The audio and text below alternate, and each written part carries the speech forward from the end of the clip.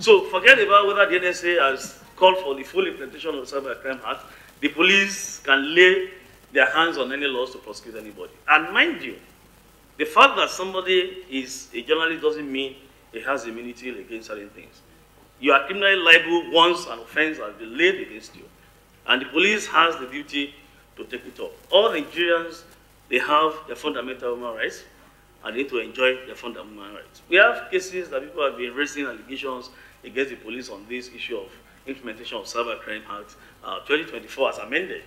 I, let me put it on record that if you, a petition has been written against you as a journalist, I think the best thing you should do as a trained journalist, a certified journalist, is to honor that invitation and get across to the office of the first bureau. None of them that have been victimized, quote unquote, according to you, have not contact, contacted me. They will not. And I want us to get it clear that most of these people, everybody is a journalist, most of them will practice in journalism in Nigeria. But the fact is, we have not, the police has not arrested anybody from any mainstream media per se. Even if they invite you, people here can testify to it. They will reach out to me, and I will call the IPO that was a matter. Nobody. But most of these bloggers that are coming up now, they always run foul of the law because they want to break the news. You can't break the news without confirming from the parties involved, and you need to balance your story. And once you are invited to come and clarify issues, don't run away from the police. We are human beings like you. We are complete Homo sapiens sapiens like you. So come to us. We'll be able to assess this. And don't say uh, because they have been arrested, they, they were adopted. I, I disagreed and I challenge some platforms why you say security operatives in Nigeria abducted journalists. They, they, we don't adopt, we arrest. And if the arrest is wrong, you tell us why the arrest is wrong, then we tell you why the arrest is right. We, we, we face challenges because many um, of you don't really understand the legal framework. Where the law is applicable, if you are not aware, you pick an offense against us for enforcing the law. All enforcers, uh, law enforcers uh, in Nigeria are bound to experience all this. It's not only the police. So I want to clear this. I've clarified this that we are not obliged to even send invitation to any suspect in the first instance. It's just a mark of respect. We are sending to you. There's no law that says you must invite somebody before you carry on with your investigation. No. We can only honor you by saying, okay, let's extend the invitation to him. Let him come and explain. But where you don't honor invitation, we'll go to court and get warrant. Once we have that warrant, we can even declare you wanted. That's the law. We can declare you wanted and you can arrest you anywhere. The only place you not arrest, maybe you're in the Hello Chamber of the National Assembly or any House of Assembly, or you're in the church, you can still respect you that in the church. Anywhere you are, they can pick you. We don't adopt, we arrest. And once you're on bail, once you have been arrested, your statement um, is taken under caution. In the law, you are to be granted bail to a substantive surety. And that's another problem. You don't tell me your colleagues in your office will stand surety for you. No. If you are not a substantive surety, the police will not release you, uh, you any, anybody to you. We need to get it right. And once you're on bail and you jump bail again, the surety can be arrested to replace you. Or we still look for you by all means. So let us, uh, gentlemen of the press, it is not that we are applying cybercrime acts to witch you, to harass you, to oppress you, or we don't want to support um, uh, freedom of the press in Nigeria. No, it is not so. Let us rather talk to ourselves, and we are thinking to have a joint, uh, a joint um, workshop so that we understand certain things. Where somebody is writing, if you want to write, I'm not saying you should not be a whistleblower, but if you want to be a whistleblower, you must get your fact right. And where we are investigating, we have stumbled on certain contents on your phone that you are demanding for ransom that if you don't want me to publish, pay me one million naira. That is not a journalist. That is not journalism. So let us get it right. If you want clarification, we are going to give you information on certain things. On, but when we get to the bridge, we shall cross the bridge. But there are so many things we are still keeping now. We don't want to be parading certain journalists, but we have seen and stumbled and we've covered content, indicting content, that some of them are demanding for ransom. If you don't want me to publish, give me so-so million umbrella. And those big ones that you think they are big, it's going to surprise you by the time you want to expose their deals. That is just it, and that is right. Thank you. Okay. Uh, by the site said something about the situation in the FCT and they need to strengthen what the Force PRO has said.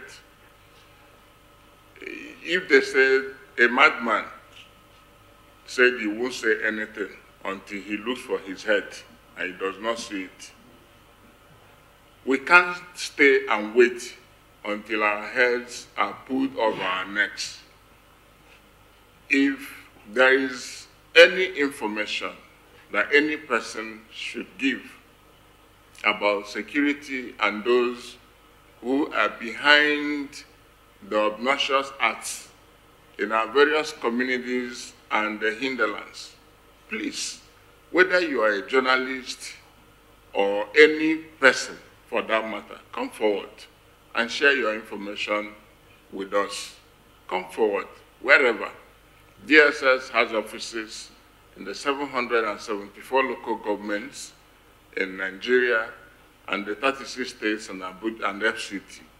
Come forward or call me.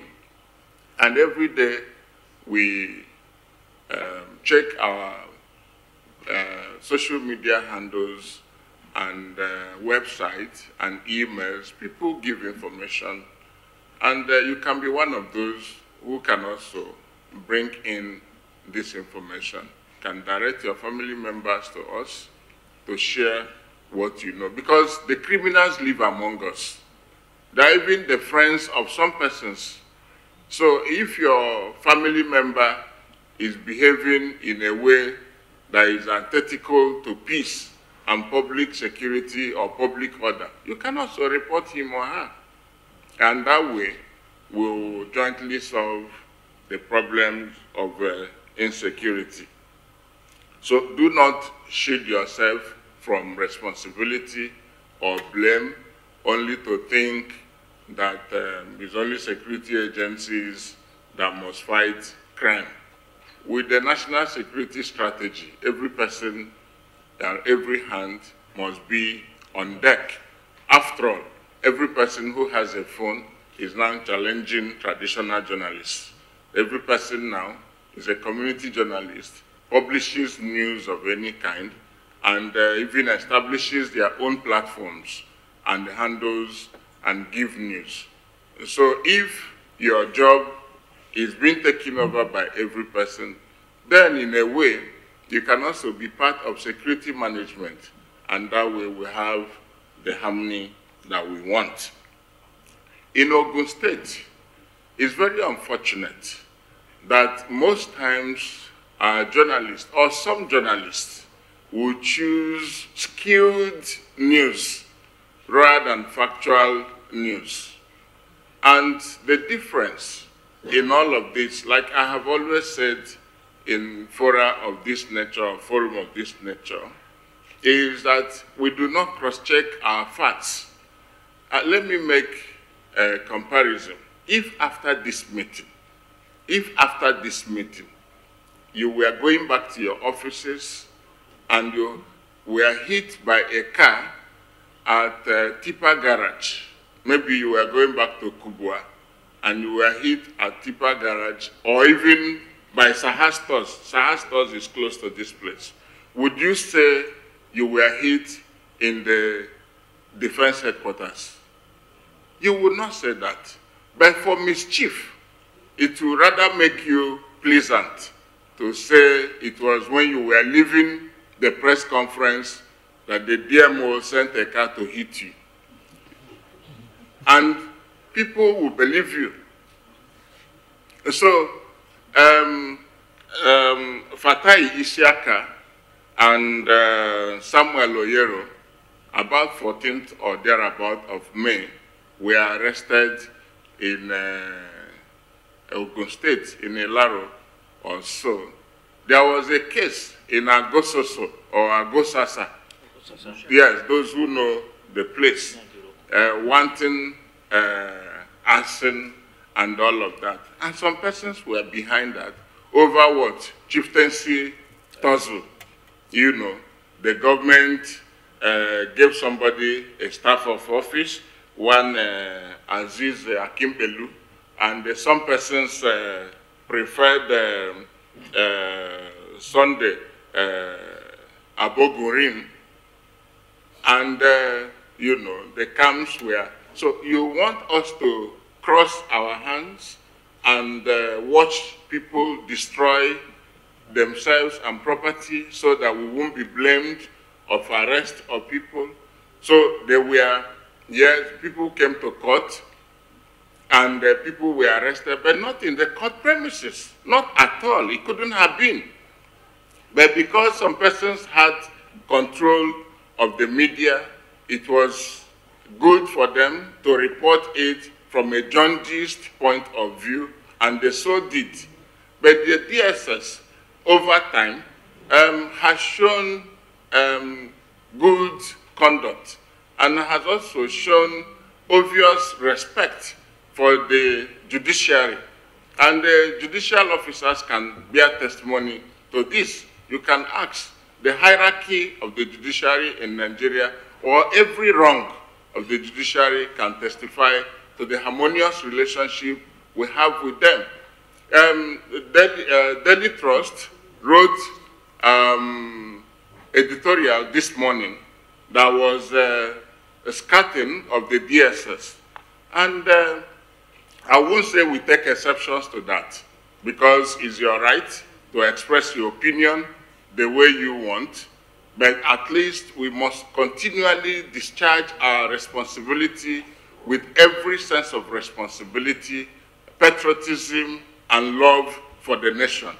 Um, you mentioned several cases of uh, Emefiele, Bawa, some of these cases are sub judice, and I won't sit down here to make comments on them for the reasons that, that they are in court. I'm surprised that the Daily Trust did not respect the sanctity of the court to come to cast SSS in the negative way that it did. But we have had a very wonderful relationship with the media. Uh, the DGSS is not someone who would uh, be in combat with men of uh, the media. We have never been, and we wouldn't want to be isolated cases, yes, but it's not institutional. So please, once there are things you need clarifications for, you cannot, my doors are open, my lines are open, the DG is open, the service is open. We have an interactive website. You can always uh, approach us to find out what, and we will always give you information once the, uh, what you are seeking for is uh, relevant to national security management. So we didn't arrest uh, Fatai and uh, Oyero in uh, the court premises, not at all. We did not and we couldn't have been. The presiding justice uh, for that matter was uh, Justice A.A. Um, uh, Shobayo in Ilaro, in the State High Court in Ilaro. And uh, you could, any person in that court will bear witness that those two persons were never arrested in the court house. You know, if something happened in area 8 um, or area 7, and uh, you are arrested in another part of area 8, that does not suggest that you were arrested in the army or defense headquarters. It was a misplaced news, and the uh, Daily Trust, please, you may cross-check your facts. Thank you very much. The DSS respects the law.